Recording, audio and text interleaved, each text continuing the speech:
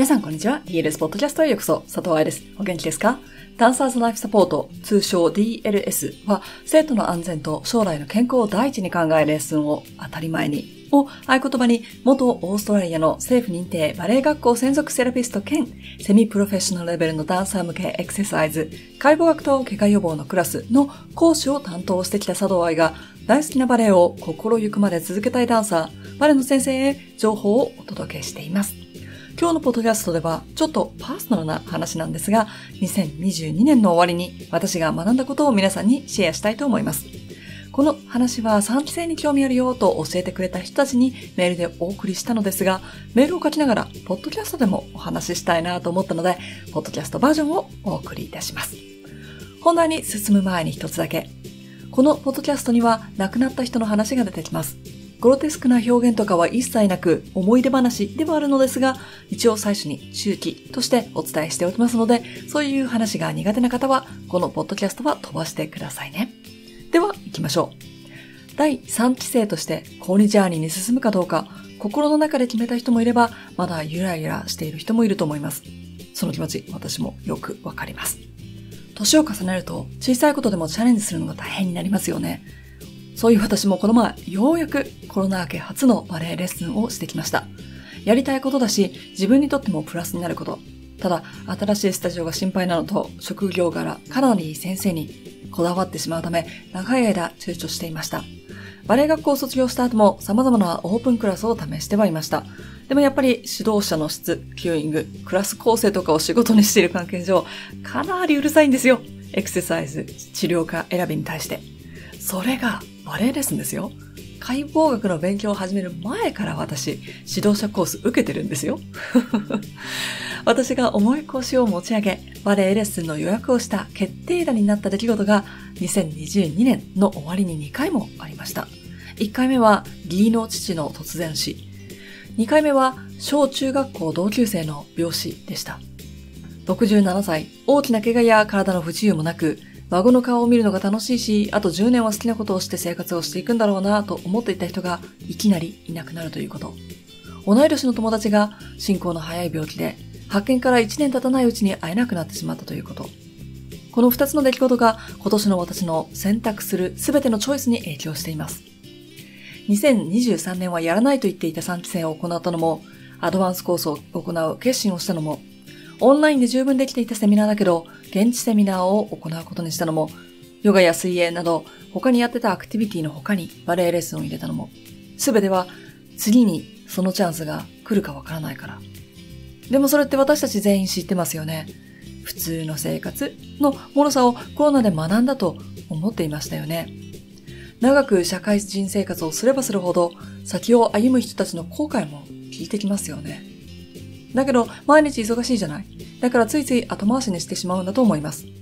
私にとってバレエレッスンはまさに後回しにしていた内容でした。バレエ学校チームから遠ざかり、パンデミックで公演を見に行くこともできない。年に1000人以上のダンサーと仕事をする年もあったのに、バレエの世界から遠ざかっている危機感とか感覚がありました。でも、それが長引くパンデミックで当たり前になってくると、今のままでもいいかなって思うようになってしまうんですよね。オンラインで世界中のバレエ団の公演が見られるし、ボリコンサークルや月一勉強会で毎週ダンサーたち、バレエの先生たちとお仕事してるし、ある意味昔よりも世界のバレエとの距離が狭まったとも感じたこともよくありました。でも私の勉強としてのバレエとでも言うんでしょうか。実際に自分が生徒になること、その場に足を運ぶこと、空気を感じること、バレエ学校専属セラピスト、バレエ団研修、ミュージカルやオペラのツアー、常に現場でその場でしか感じられることができないエッセンスを吸収することで学びをアウトプットしてきた私にとって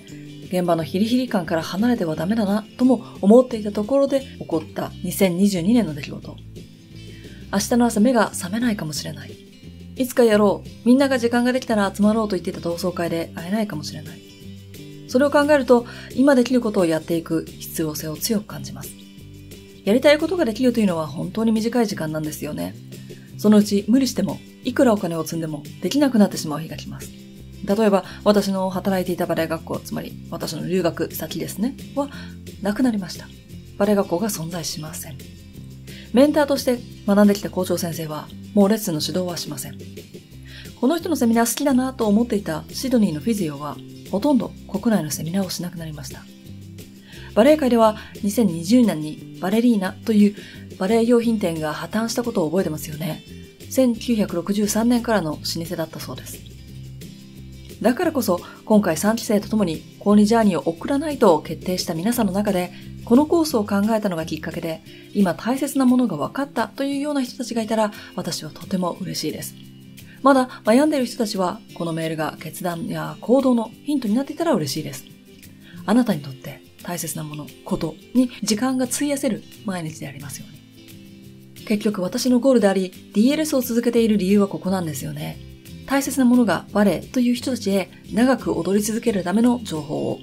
大切なものがバレエスタジオの生徒という人たちへ生徒を守り、彼らの夢を潰さないような指導法や解剖学の知識を、大切なものが自分の夢にチャレンジすることというプロ志望の子たちが長期続く怪我や病気、そしてこれは身体的な部分だけでなく精神的にも知識の偏りという面でも同じですが、そのような知っておけば避けられた、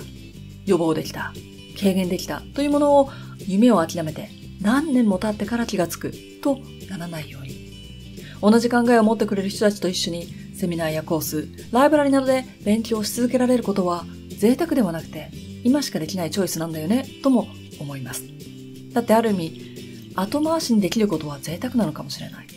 だって安定した後でという時間があるということでしょう。